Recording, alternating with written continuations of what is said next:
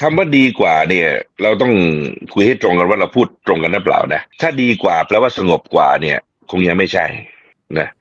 แต่ถ้าดีกว่าหมายความว่าคนไทยจะมีวุฒิภาวะทางการเมืองมากขึ้น รู้ว่าตัวต้องการอะไรมากขึ้น ตัวไม่ต้องการอะไรมากขึ้น พี่คิดว่าดีขึ้น คือพูดง่ายๆว่าคุณภาพในการต่อสู้มันดีขึ้นนะครับ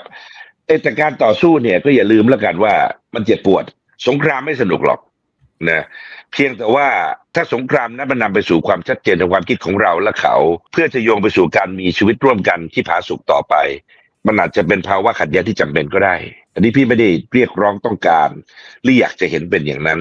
เพราะที่ยอมถอยแล้วกลับมานี้ก็เพราะไม่อยากเห็นสงครามนี่พูดตรงๆ เพราะในสิบห้าปีที่ผ่านมาเนี่ย ได้ไปเห็นเศษซากความเสียหาย